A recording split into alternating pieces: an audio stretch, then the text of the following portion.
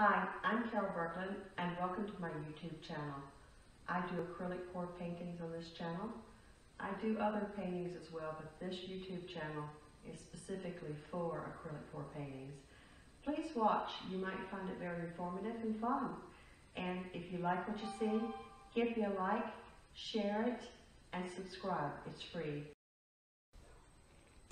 Hello, it's Carol Berglund with Carol's Art Creations. I'm going to do a pour today, and I hope you got to see my last pour. Wow, did that one turn out good. This is one that I did that I really do like, but I decided to sacrifice it. So there's a few little issues with it. I put my finger in it, then tried to brush that out and match it up.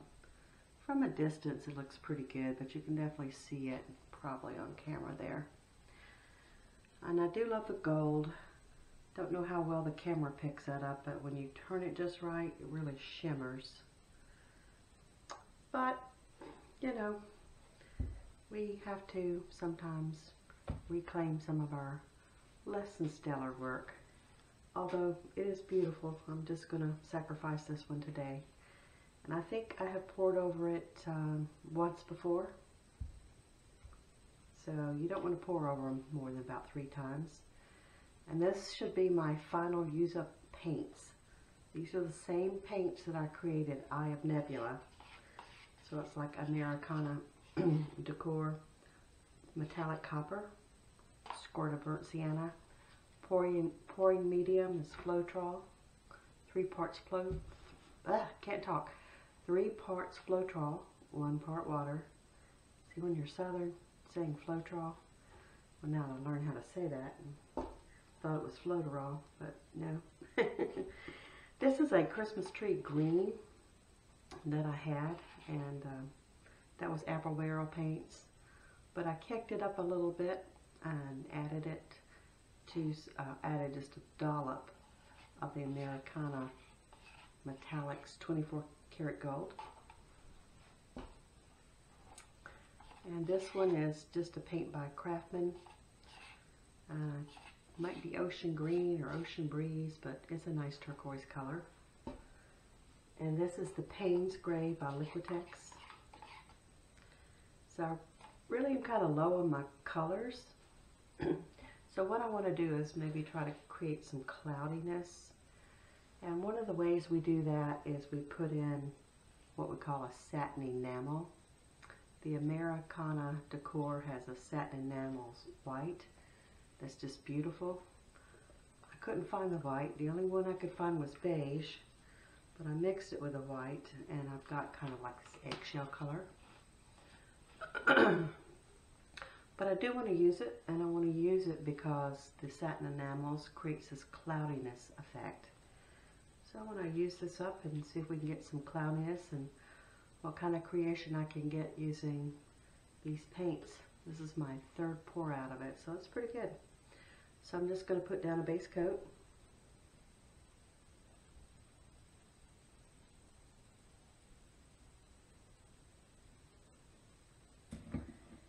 And I'm going to smear this out and while I do that I'm going to pause it because eh, tedious work. I'll come back when it's all ready to go.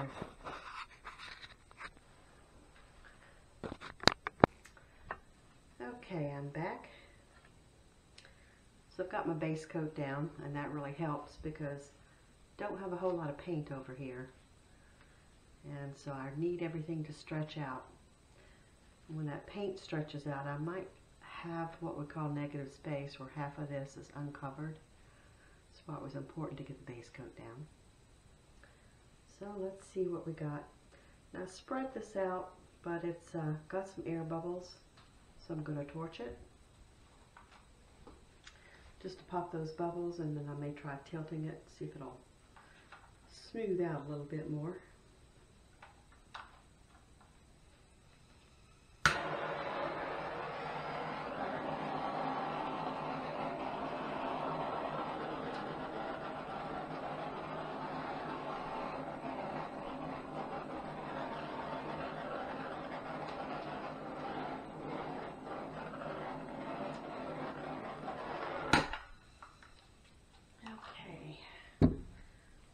Some of those big bubbles. Don't know if you could pick that up on the camera or not. I'm just going to tilt this a bit. Try to get to a smoother look.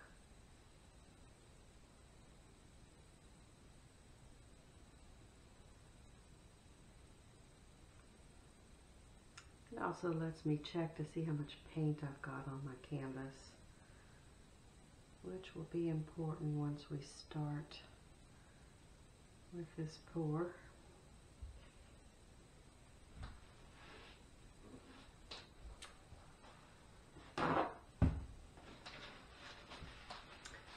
Okay, so I'm going to layer my cup up.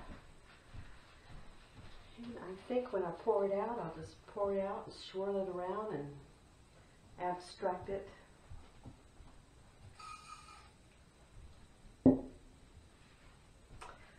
Put a little bit of WD-40 in here.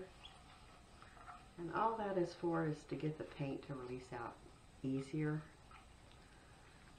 Some people use it for cells. I don't think it gave me too much cells, but I did get some nice cell action on the last one. Now if you use WD-40 with silicone, silicone oil will definitely give you cells. Okay, start with a little of the Payne's Gray. Probably only going to get two layers out of this.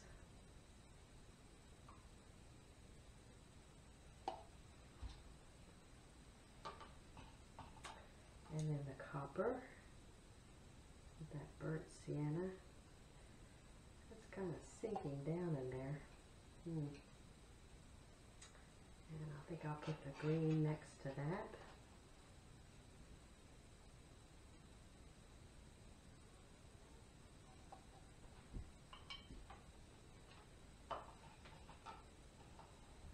And then the turquoise.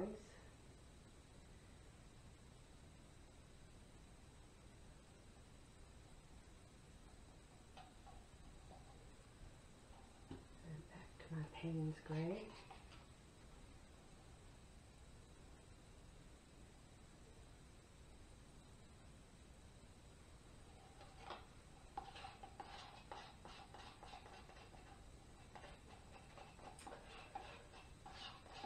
This is my natural stress reliever at the end of the day. I've kind of been cooped up a lot with self-quarantining and you're cooped up at home alone a lot, which, well, I have been working as I work as a realtor. But today I'm not working and I'm just vegging out.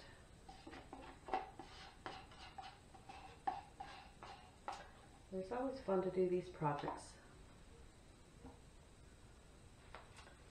Alright, copper.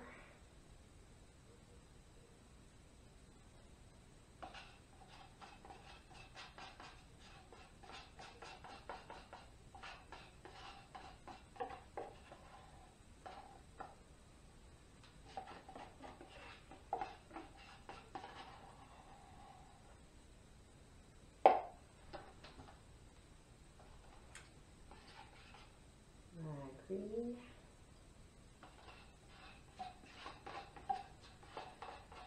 think next time when I mix up green as one of my colors, I'm going to mix less of it. Not even equal to the other colors because it's like neon green. It really will eat up a painting. But that's alright. Because this is an experiment. If it goes wrong, yeah, hey, I could scrape it right off.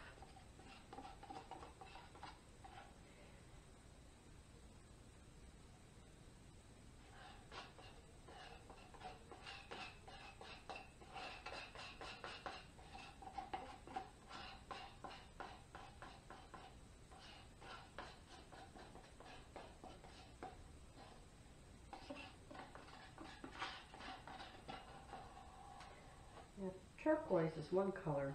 If you use it in just about any color scheme, it doesn't seem to clash and it really is beautiful. And I've yet to have it take over a painting the way green has.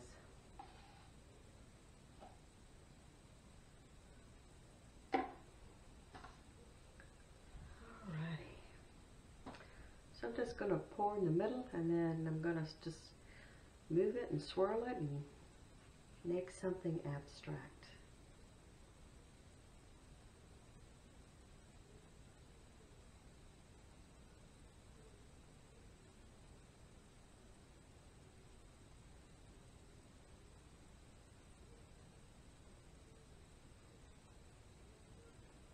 I do want some of that Payne's Gray right in the center.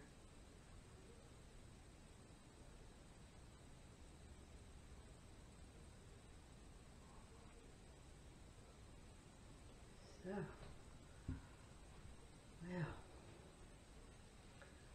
well, that's a jumbled mess. I wonder what that'll give me. I'll just swirl it a little bit out, a little bit more.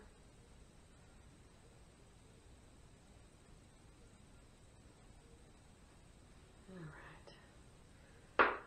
That just looked too jumbled together and going helter-skelter.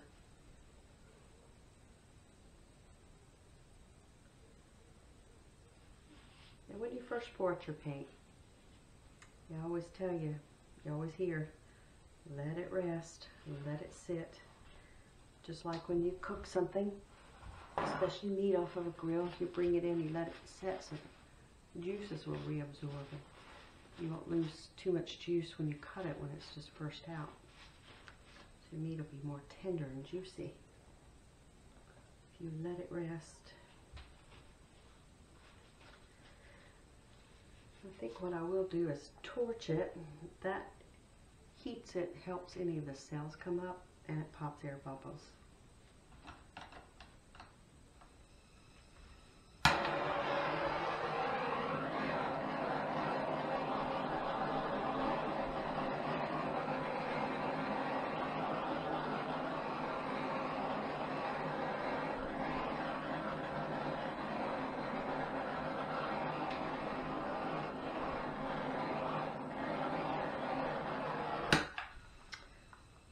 Okay, I got a few little pop, pop, pop.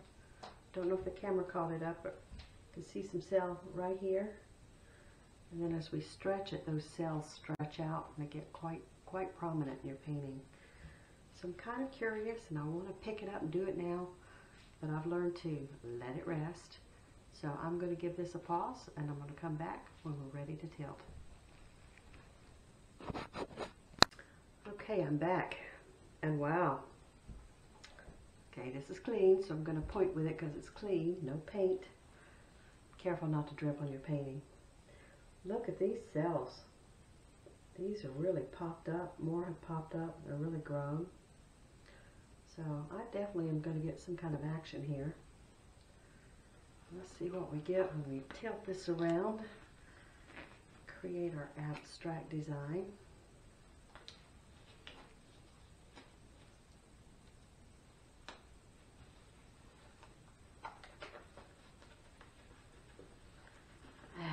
gloves back on.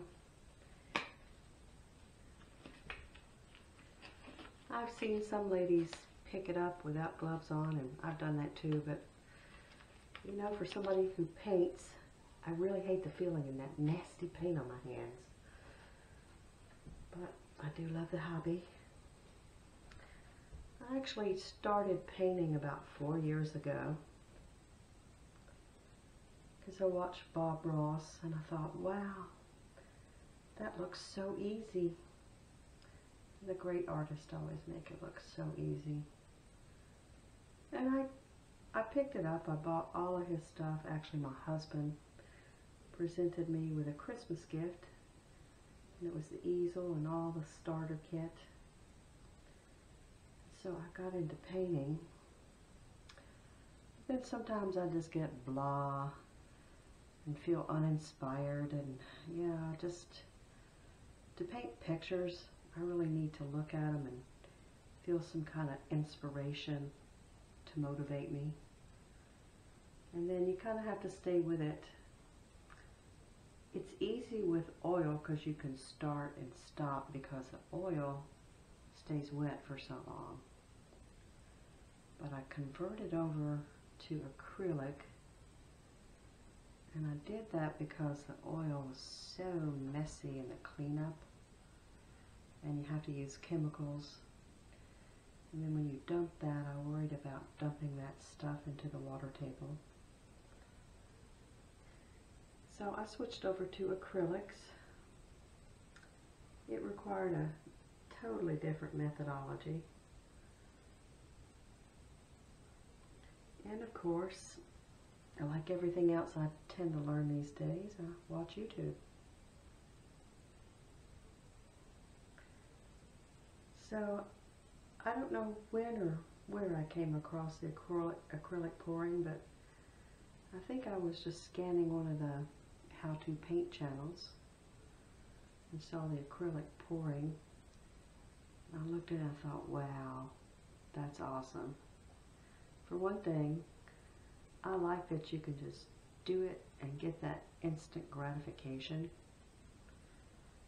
As you do have to work at painting landscapes, even flowers can be hard to paint. Well, at least for me, because I still consider myself a novice. Okay, get this last corner.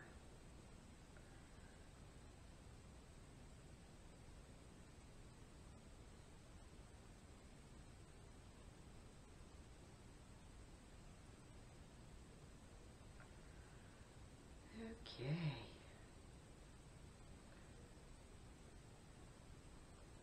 Let me put that down a minute. Hmm.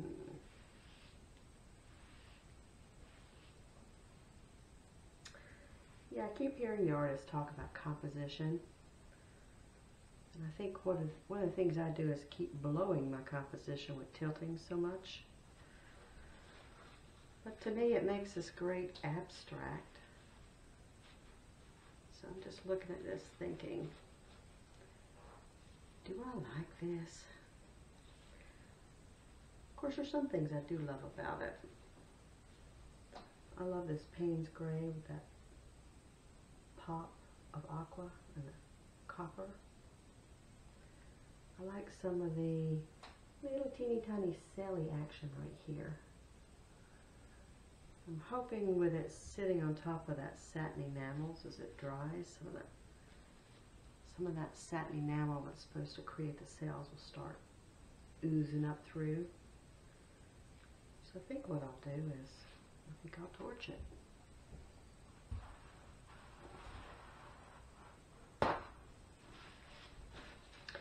There's another, another term I keep hearing about wrecking it. And that's when they take a stick and run through it or do something to, you know, and they actually create another painting by doing that, but uh, it doesn't tend to work out that well for me. I think I wrecked one or two, they stayed wrecked. They didn't get fixed.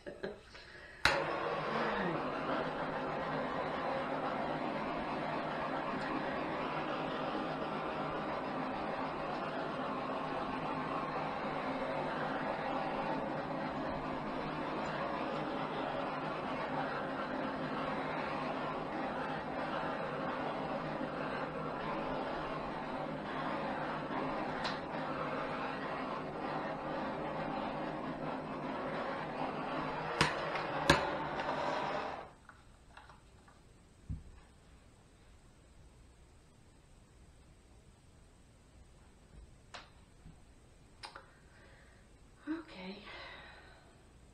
I'm going to have to think about that. I mean, as usual, there are things I like, things not so much.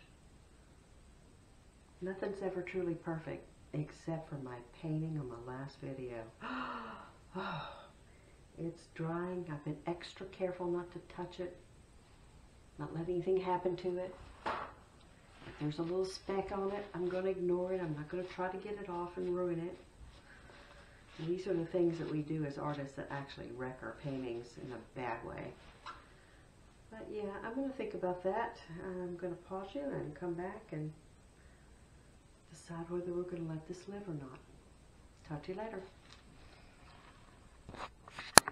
Okay, I'm back. So, one of the things that I do to wreck my paintings is I flick some silicone oil and that creates like thousands of cells.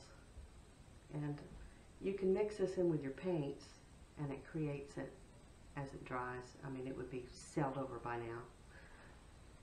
You could use three-in-one oil, silicone. I don't like it because it smells. I went ahead and bought some silicone oil from the art store from Michael's. It doesn't smell as bad. And so what I think I'm going to do is flick a little silicone oil over the top.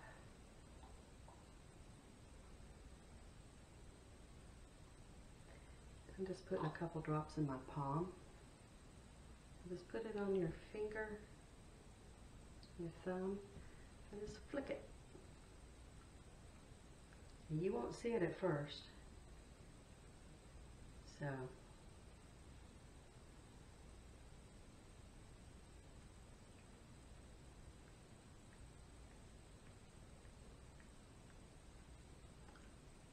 pretty soon this silicone oil will start eating through those top layers and maybe bring up some white or something just a little more vibrant I think is what it needs. I don't want to waste the last of this paint. Scrape it off. I do like cells and I like I have one that's just like solenoid but it's pretty cool. It looks like the bottom of an ocean floor. And I think that's what I named it, it's ocean floor. So this will change it. Let me pop this with a torch to heat it up and spread it quicker.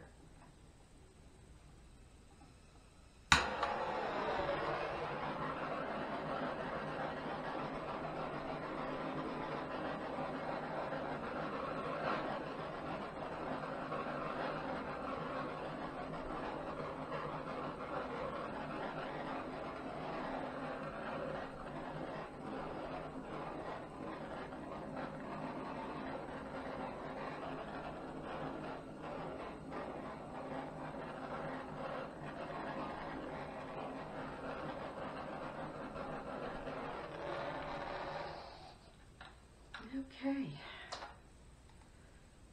So I am going to let this sit, come back and see how much I like it, if I like it. And then we'll see. And if I don't like it after the cells, the last resort is swiping it. Not a fan of swiping, but I have done them and I've gotten some beautiful paintings from them. So let's see how this looks I wish I could have like an online voting so I could get a yay or nay. I'll have to work on that. Anyway, let's see what this comes up and how it looks. Talk to you later. Okay, I'm back. So this has got some wonderful cells from that silicone I flicked on it. I don't know. I do like more of this turquoise. I wish more of it was present. I don't know. I'm going to tilt this a little more and see what it looks like. And then, if all else fails, I will swipe it. So, let's do a little tilt, and see what it looks like.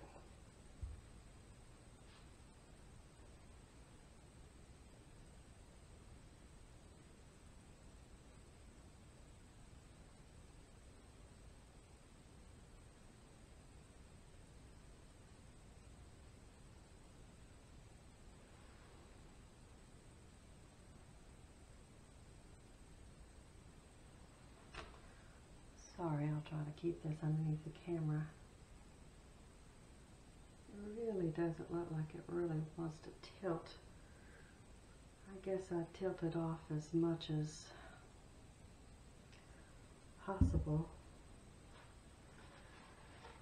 This little cell looks like it's got a ghost face. I don't know. Some things I like about it, some things nah. I like this. And I like some of these, I like the aqua popping through. I guess it's a little overstretched and smeary, but I don't know. Do I want to swipe? I can tell you that most of my swipes either end in a beautiful painting or a scrape in it. Which I hate to waste the paint, but sometimes you just gotta scrape it. Here's my tool. You can take that and just take all the paint off. You can actually take it outside and hose it too with your hose pipe. But you want to do that quickly and then dry it off. So let's see. Hmm.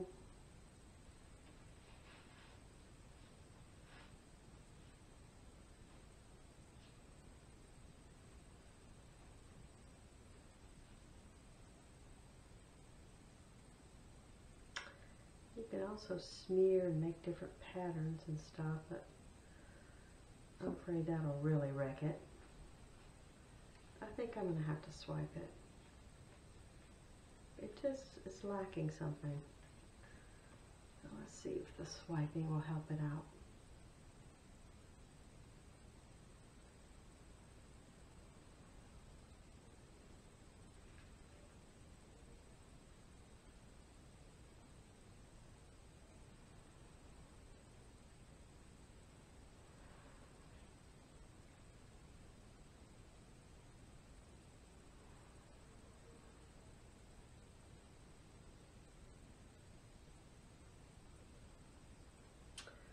The idea is I will take a paper towel and dampen it real good.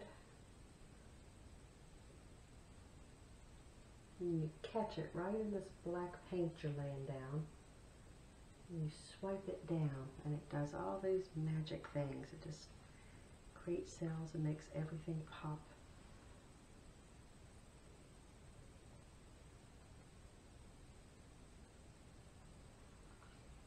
So sometimes it really can turn painting into a beauty.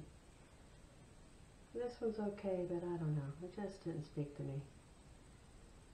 We artists, we have to love it. We have to like it.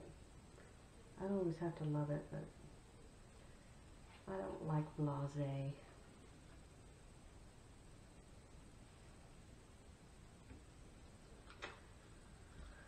Okay.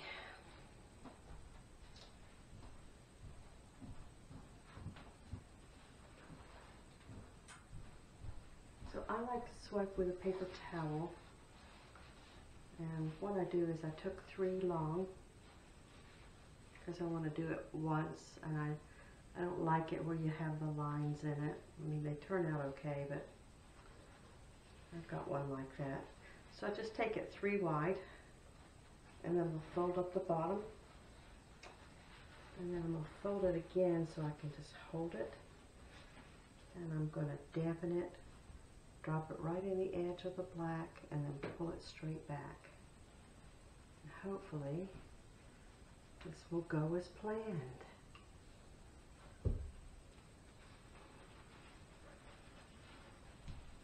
That's the thing.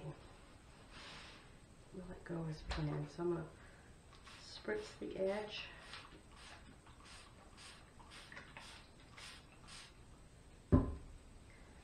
Lift it, and this gives me like a little handle.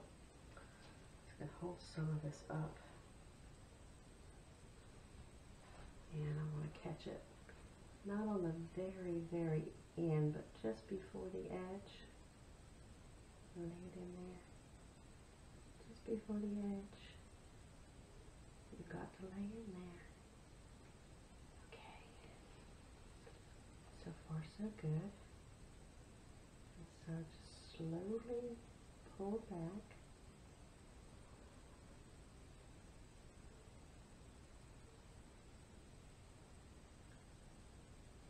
Swipe it down.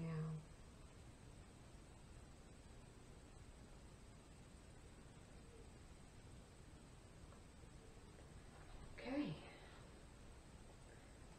So hopefully this will start to resell and some of the colors will pop through.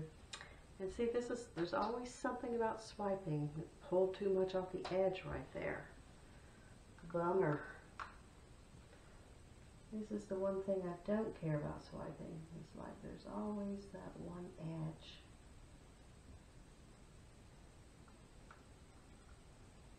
But I'll just gently pull it down this way.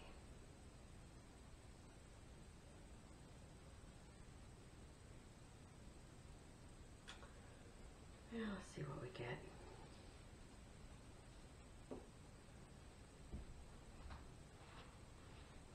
So let me torch it.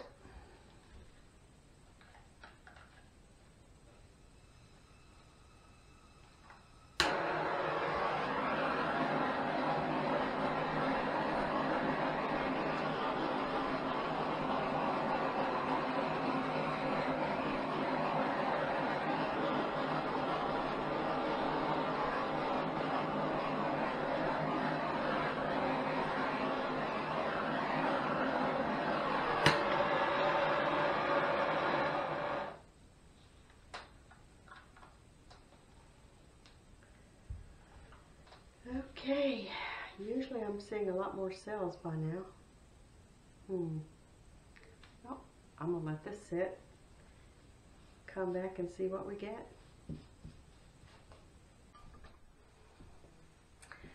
Hi, I'm back. Remember this guy? Well, when I came back, that black swipe didn't do a thing. It was ugly, it was ruined, and I was disgusted.